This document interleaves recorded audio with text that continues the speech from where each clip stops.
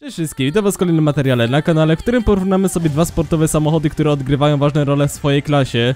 E, osobiście używam LG do każdego krętego wyścigu i sprawdza się znakomicie. No jednak po dodaniu nowej wersji LG pojawiły się pytania, który z nich jest lepszy. E, no i to właśnie w tym odcinku sprawdzimy. E, na wstępie, żeby zachęcić was do oglądania, to powiem wam, że rzeczywiście oba samochody się różnią w paru aspektach. No jakie to są aspekty, no to przekonacie się po, po obejrzeniu tego filmu. No to może na początek zacznijmy od osiągu. Żeby to sprawdzić, wykonamy dwa testy. E, Jeden to będzie test drag na krótkim dystansie, a drugi to będzie test drag na długim dystansie.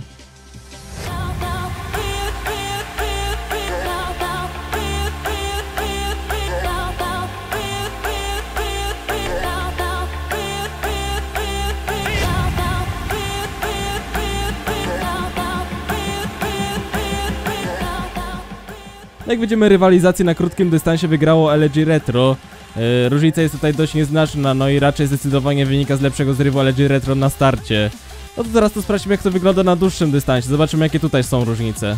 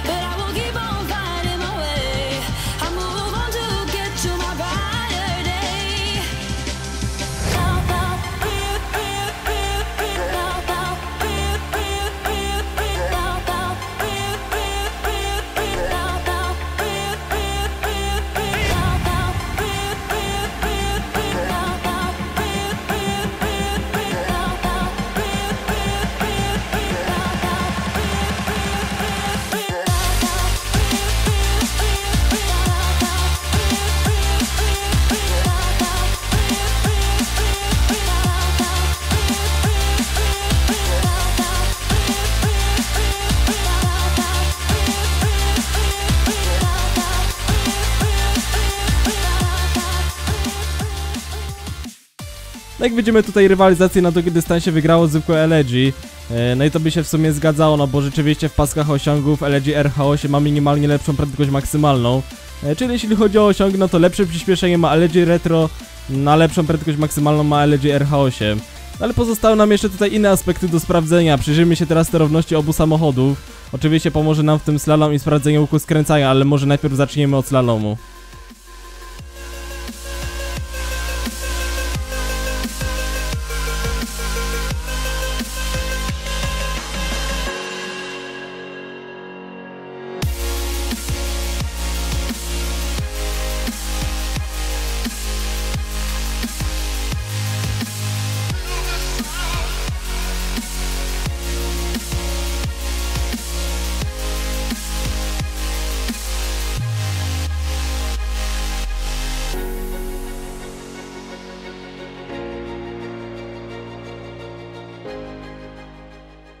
No jak widzicie tutaj różnica jest dość wyraźna na korzyść LG Retro, co mnie szczerze bardzo zaskoczyło.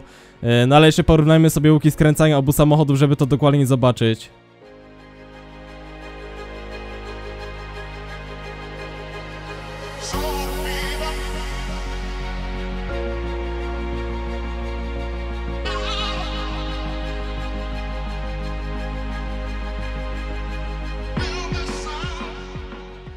No tutaj różnica jest dość kolosalna na korzyść LG Retro, czyli wychodzi na to, że prowadzenie jest o wiele lepsze w nowo dodanym LG.